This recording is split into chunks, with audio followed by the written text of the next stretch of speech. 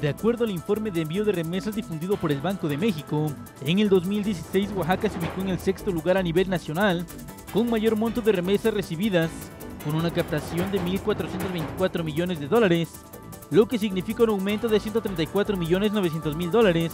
en relación al 2015.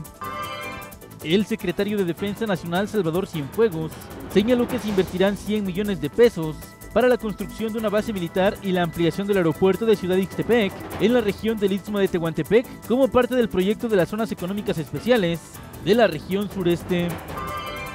La Procuraduría General de la República Delegación Oaxaca ubicó y destruyó un plantío de amapola en la localidad de Santiago Texitlán, Sola de Vega, con una superficie de 47.999 metros cuadrados, logrando la incineración de 959.991 plantas de amapola.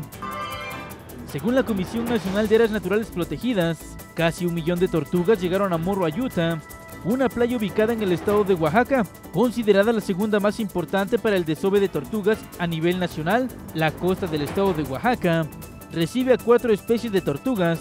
entre ellas la golfina, la ud y carey para el desove. Elementos de la policía municipal realizan patrullajes y activan dispositivos de seguridad durante las 24 horas del día para reducir la incidencia de robo a personas y comercios en el centro histórico. Esto ha ocasionado que durante el primer mes del año la incidencia delictiva en la capital haya tenido un descenso del 40%.